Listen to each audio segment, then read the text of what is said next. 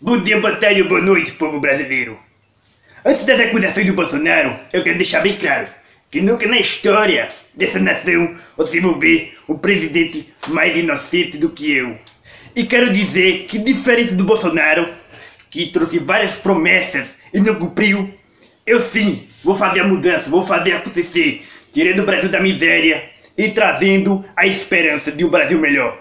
Igual fim no meus dois mandatos de presidente. E para quem quer saber a diferença da esquerda e da direita, é muito simples, companheiro, é muito simples.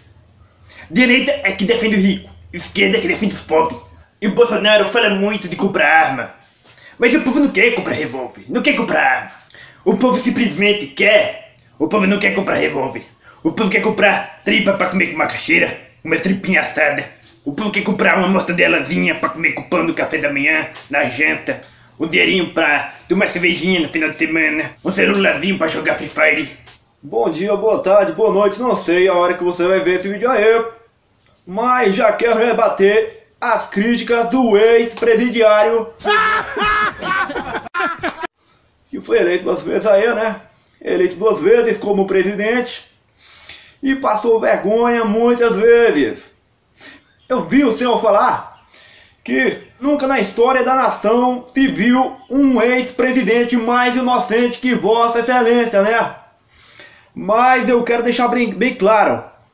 Também nunca na história da nação eu vi um cara tão mentiroso e canalha como o senhor.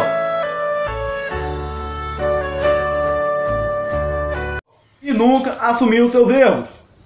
E também voltando à questão que ele falou sobre o armamento, que eu sempre declarei que sou a favor da posse do porte de arma, que isso ajudaria a acabar com a marginalidade que ocorre em nosso país, tá certo? Aí ficam me perguntando: ah, mas o povo não pode ter arma, não tem condições financeiras de ter arma.